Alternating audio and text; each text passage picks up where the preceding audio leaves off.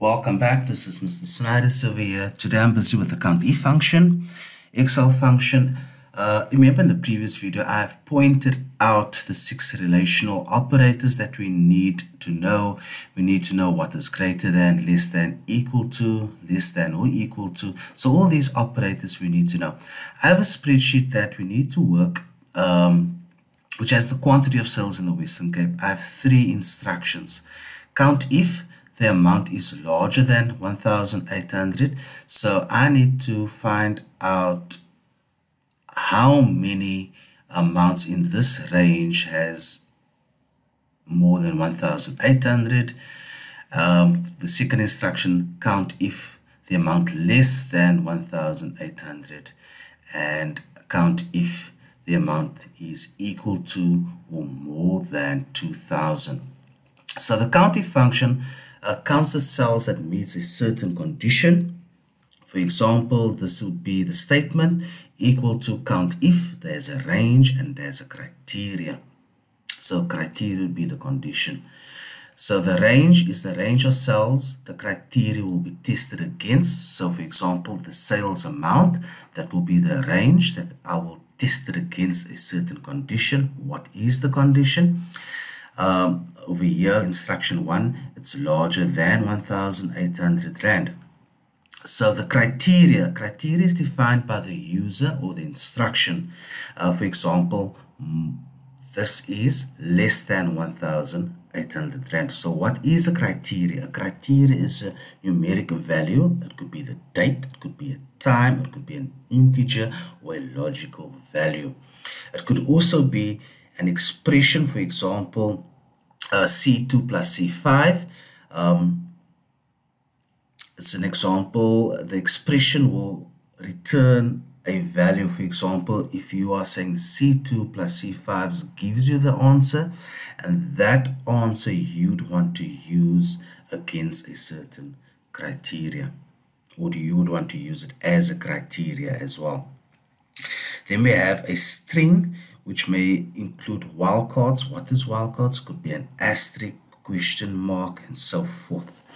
Okay, let's start off with this um, activity over here. Let's say count if the amount is larger than 1,800 Rand. So I'm going to say equal to count if. I'm going to select count if. The bracket opens. You can see there's a range I need to select and there's a criteria.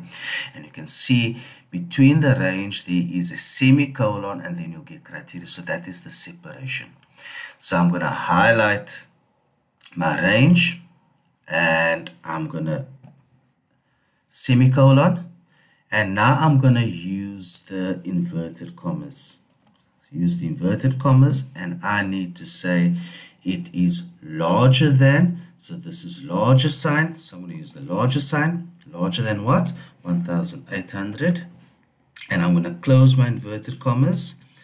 And I'm going to close the bracket and I'm going to press enter.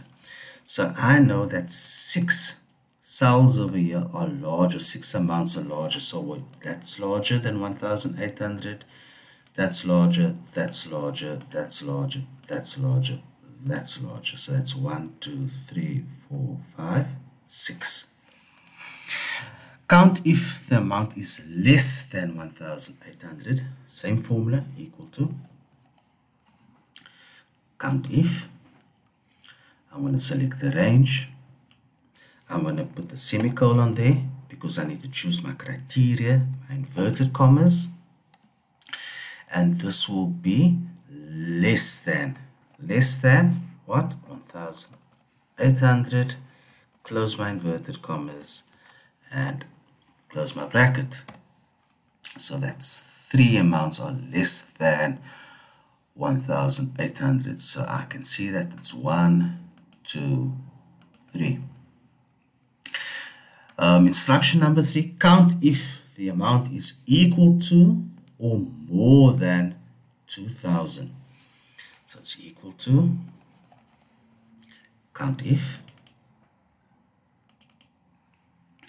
select the range, semicolon, inverted commas, and I need to uh, insert the criteria. So the criteria is equal to or more. So it is this one over here, greater than or equal to. So it will be that equal to, and what's the amount? 2000. Close my inverted commas, close my bracket, and enter. So that's 6. Note that this one over here, they're saying count if the amount is larger than, if I would use that um, is larger than and equal to this amount would change to 7 because there is a 1,800 Rand over there. So if I press enter over there, you could see it changes to 7. Uh, so count if is it's relatively easy if you know the statement that you need to know, um, that you need to type in. Um, you need to know what the range is, you need to know what the criteria is, and you need to know what the operators is. Uh, I hope this activity assisted you. Thank you.